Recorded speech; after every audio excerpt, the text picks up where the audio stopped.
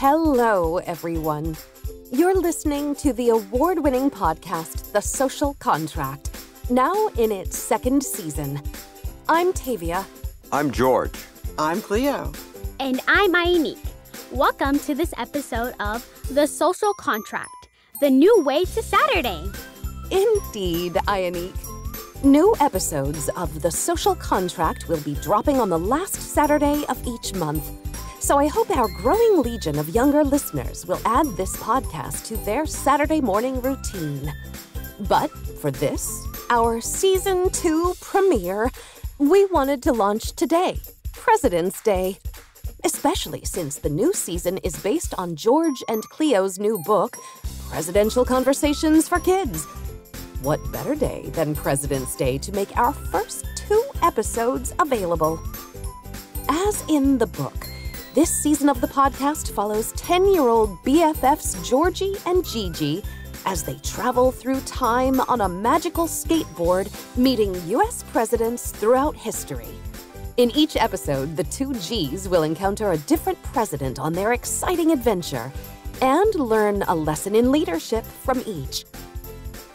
In today's episode, we'll learn all about Georgie and Gigi. And our first president, George Washington, will be introduced. Broadway star and celebrated narrator Stephen DeRosa voices all the characters, including Georgie and Gigi.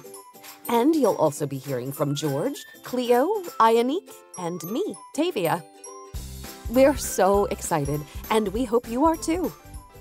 Now, I want to welcome our newest addition to the Social Contract podcast, Iya'Nique Kelly. Iya'Nique is 11 years old. She's originally from Las Vegas, in the great state of Nevada, but recently relocated to Los Angeles to pursue her acting and singing career. In addition to joining the social contract this season, Iya'Nique will soon be seen in a co starring guest spot on Abbott Elementary. I love that show. Let's check in with Iya'Nique now. Hi, Iya'Nique. It is so wonderful to have you with us on the podcast. Welcome. It is a delight to have you with me. This is season two, and since this season is based on the book Presidential Conversations for Kids, we call it PC4K, I understand that the very first thing you did to prepare was to read the book. So I'm curious, what did you think? Uh, the book was very nice, and me personally, I would give it a 5 out of 5 star review. I really like the book. I really like how it talks about all presidents like George Washington, Barack Obama, and the new president. Um, what, what's his name? Oh, that would be Joseph Biden or President Biden. yes. Were there any parts of the book or any presidents that really stuck out to you, or you thought that's my favorite president, that is my guy? Barack Obama, since he was like the first black person to be elected president, he's the one that mostly like stuck out to me. Mm, yes, I remember the night that he was elected, I was jumping up and down in the street, literally like in the middle of the street. That was an amazing, amazing moment. So you were probably not even born when Barack Obama was elected president, were you? No, I wasn't born yet. Oh my gosh, that's so cool. Yeah, he was a transformative president, so I'm not surprised that he was a favorite for you. I know that your favorite singer of all time is Whitney Houston. I love Whitney Houston too. Like Whitney, you have dazzled audiences singing the Star Spangled Banner, which is a really, really difficult song to sing. So I want to know how did you discover our national anthem? And tell me about performing that. Where did you perform that song? Uh, so I first discovered the Star Spangled Banner when my mother played Whitney Houston's version, which by the way I absolutely love. It's phenomenal. When I first heard it, it was I was just blown out the water. And it was like super good. And I've sung the national anthem a lot of times at my brother's high school in Nevada, and to this day I still practice the national anthem. It's very it is a very hard to song to sing like you said, and for me the notes were like gradually coming at me. So it, it was like a lot to take in at the same time with the key range and everything. Yeah. it's really hard. I mean, the range of notes is really extreme. So, that is a song that we all as Americans may know, but we cannot all sing all of those notes. So, tell me what that song means to you. Like, when you sing it, what are you feeling as you're performing that incredible song? Um, the national anthem means to me like freedom Mm-hmm. from like all the wars and s- shoulders. I mean, sorry, uh, soldiers who have gone MIA. Yeah. Yeah. So you said that you've sung that a number of times at your brother's high school. Are there other places that you've sung that song? Um, no, not currently. Instead of like in front of my mother, I have singing in front of her, but rather than that, like high school. Our moms are our best fans. I have a lot of respect for that. Is there somewhere you dream of singing the Star Spangled Banner? Um, I guess at the Super Bowl. Ooh, I want to see you sing that song at the Super Bowl someday. Okay, I'm putting it out to the universe. Maybe we'll say like 15 years from now. How about that? Okay, yeah. Okay, cool. All right. Well, something that I'm super excited about, and I know that our listeners will be really excited about, is that later this season, we get to see you on Abbott Elementary, which is a show I absolutely love. I want to tell you, congratulations. I know it's top secret, but can you tell us anything about your role and the experience working on that show? I bet it was super, super exciting. Thank you. And the co star role that I played was choir kid number three. The experience was amazing. I got to meet Quinta Brunson, Tyler J. Williams, uh, Shirley Ralph, Lisa, who plays Melissa, and Jacob. I also got a fist bump from all of them. And my friend was also on the show, so me and him, yeah, me and him got to like work together. And we also sang Wind Beneath My Wings by Bette Midler. And yeah, it was amazing working on the set. That is so cool. You weren't just on the show, you got to sing one of the most beautiful songs by a diva, Bette Midler. That's so awesome. yes. Oh my goodness.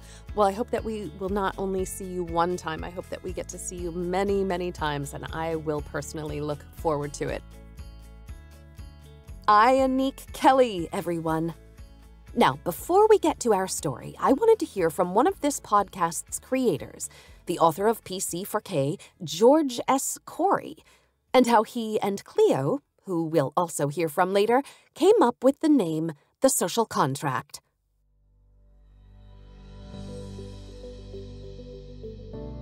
First off, I'd like to take a moment to thank you, Tavia, for the tremendous job you've done anchoring the podcast in season one. Cleo and I are just so grateful, and we're extremely excited about this new direction we're taking for the second season. And Cleo and I are beyond impressed with Miss Iya'Nique Kelly. How wonderful to have her and you with us this season. Now, I've spent most of my life studying history and the United States Constitution. And for me, the single most important part of our democracy is the social contract. It may sound like a fancy idea, but it's really quite simple and very cool. It really just means respecting one another. When members of a society, our society, work together and with their leaders to create a better society for all of us. And we can do so in little ways, every day. For instance, instead of going for that second slice of cake at a birthday party, you may want to leave it for someone else. Or if you see a classmate or a teacher accidentally drop some money on the floor, pick it up and give it back to them. Those small things add up, and that's how you build character. It not only makes you a good person, but also a good citizen. Well said, George. I couldn't agree more. Now, let's kick it over to Stephen as we embark on this wild adventure together.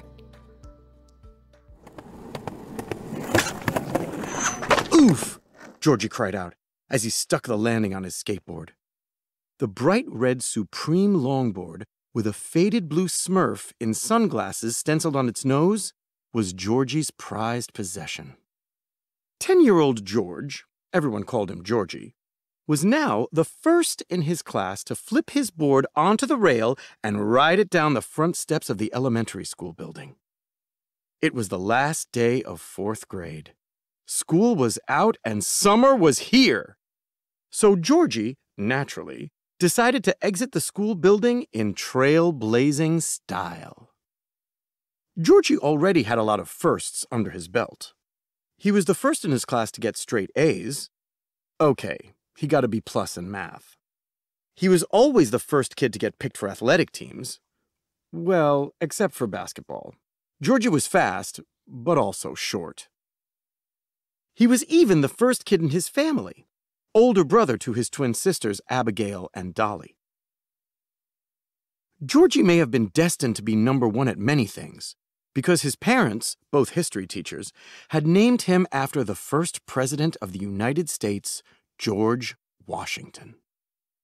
Plus, they just really liked the name George. Georgie's classmates cheered and whooped, even some of the fifth grade kids. But Georgie played it cool. He raised two fingers in a peace sign and motioned to his BFF, Gigi. Let's get out of here, G, he said. Already by your side, G, Gigi replied. They bumped fists and rode away on their boards. Gigi's board was purple, and she had traced hearts all over it in different colors. She called it heart art and got a kick out of how that rhymed. Her name was Giselle. It had been passed down over multiple generations of her family, which came from the French West Indies. But everybody called her Gigi. Well, everyone except Georgie. He called her G, and she called him G. And they thought that was pretty cool. While George was a top banana at school and sports, Gigi wasn't crazy about school, except for drama club, and hated sports, except for skateboarding, which she loved. Gigi thought of herself as a star in the making. And, true to that vision, usually landed a leading role in school plays. She always wore her black hair in two pom pom buns. And after she celebrated her 10th birthday, she was allowed to wear clear lip gloss and glitter nail polish, also clear. So, for a suburban fourth grader, Gigi had star quality. But she still managed to be way down to earth and liked to keep it real, as she was fond of saying. As they glided down the sidewalk on their boards enjoying the astropops, Georgie noticed a huge rip in Gigi's jeans. Wow, Georgie exclaimed. You really tore your jeans out. Yeah, trying to flip my board and ride it down the steps, just like you did when you made your grand exit. Do not try this at home, kids, joked Georgie. Leave it to us pros. Yeah, whatever. I'm convinced your board's got some kind of magical voodoo power. I bet if you let me ride it, I could do two flips and ride it down the steps. No way, G. Aw, come on, please. No. S'il vous plaît? Georgie laughed. Well, now that you asked in French, I'll think about it. The two G's fist bumped. Oh, hey, do you want to come over for dinner tonight? Georgie asked. Marie's in town, and she's making kibby. Kibbe? As in my favorite Middle Eastern food? Oh, I am there. Then we can hit the skate park. Marie was Georgie's Egyptian grandmother. Her official name was Grandma Marie, but Georgie and Gigi, who was Grandma Marie's favorite of the neighborhood kids, referred to her simply as Marie between themselves. Grandma Marie was cool. Whenever she visited, she played old school board games like Scrabble and Battleship with Georgie and his friends. A former star forward on her all girls Catholic high school basketball team, she'd even shot hoops with the kids. And she was an amazing cook. Her kibbe were football shaped meatballs made with beef, onions, pine nuts, and cracked wheat. Marie deep fried them, refusing to bake her kibbe just to make the moms happy. And sometimes she'd take Georgie, Gigi, and their friends out for french fries and milkshakes. Georgie and Gigi especially loved the exotic dishes she prepared. She also made a mean grilled cheese. Georgie's parents were attending an academic symposium in Albuquerque. He knew how to spell Albuquerque, thanks to prep for the recent interscholastic spelling bee, but still wasn't quite sure how to pronounce it. He was just stoked that his parents took the twins with them and that he was getting to kick off summer vacay with a feast of his favorite Middle Eastern comfort food with two of his favorite people, Grandma Marie and Gigi. I'm glad you have a friend like Gigi, Georgie's grandmother told him. She's nice and smart. She laughs at your jokes and makes you laugh too. That's important. And she likes skateboarding too, exclaimed Georgie. She's definitely my BFF. I thought I was your BFF, Grandma Marie joked.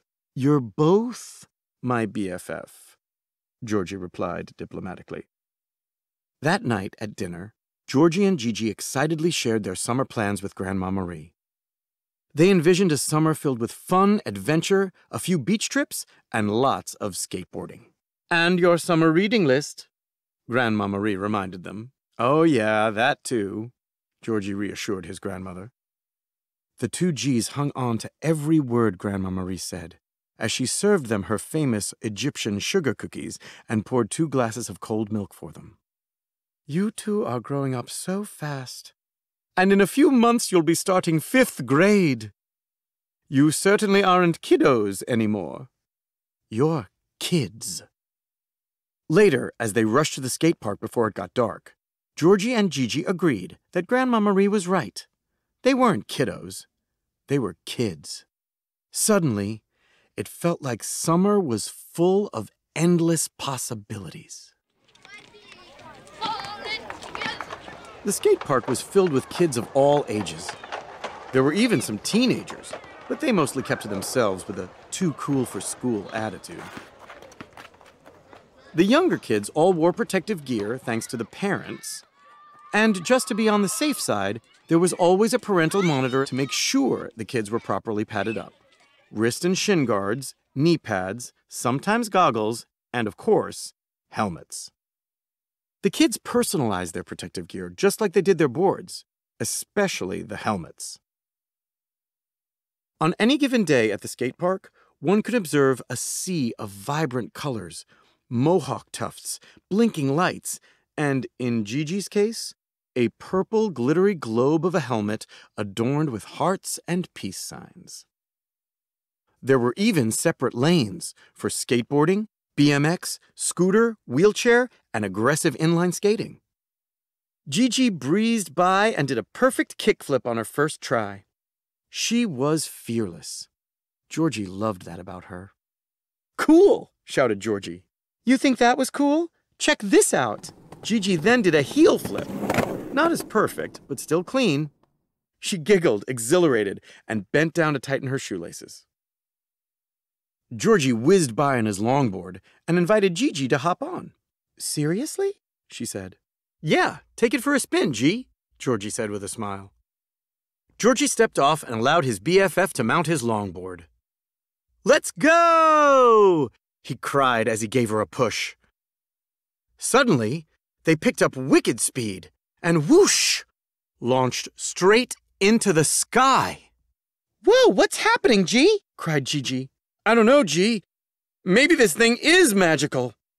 As they flew through the sky, the longboard felt like it was attached to the bottoms of their feet. Strangely, neither of them was afraid of falling. It was too exhilarating. A freezing rainstorm began beating down, making it difficult for them to see ahead of them. Then, splash! They were gently but abruptly dropped into the frigid waters of the Delaware River. It was Christmas night, 1776, and none other than General George Washington was coming to their rescue. That's quite a cliffhanger. I cannot wait to find out what happens with Georgie, Gigi, and George Washington in our next episode, which thankfully you don't have to wait for. You can listen to it right after this one. But first, our very own artist in residence, Cleo, has not only inspired this podcast and the book on which it's based, PC4K, but she makes it all beautiful. One of the most fantastic things that Cleo has created, especially for this project, is a series of word art illustrations.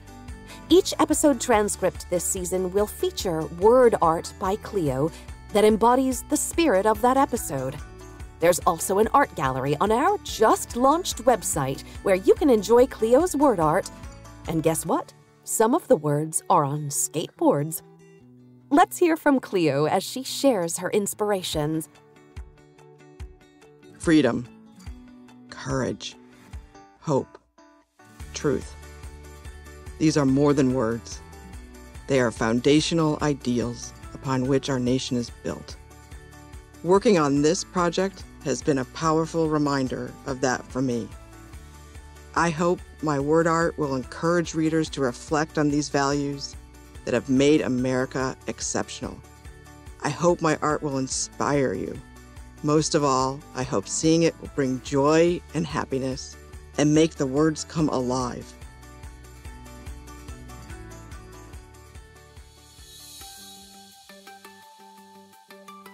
That brings us to the conclusion of our Season 2 kickoff episode. We welcome you to follow the social contract wherever you find your favorite podcasts. Episode 2 is available now, and new episodes drop on the last Saturday of the month. It's the new way to Saturday, so we hope you'll catch us next on March 25th. In the meantime, check out our website at www.mytscpodcast.com, where there's a whole bunch of fun content for you to engage with. The Social Contract Podcast is created by George S. Corey and Cleo. Produced and hosted by Tavia Gilbert. Music courtesy of Listen Audio. Mix and master by Kayla Elrod. Additional dialogue editing by Kathleen Conti. Social manager Suzette Burton. Production coordinator Tatiana Bacchus. This has been a podcast from Listen Audio in association with Talkbox Productions. On behalf of George, Cleo, Stephen, Iya'Nique, and me, Tavia, thank you for listening.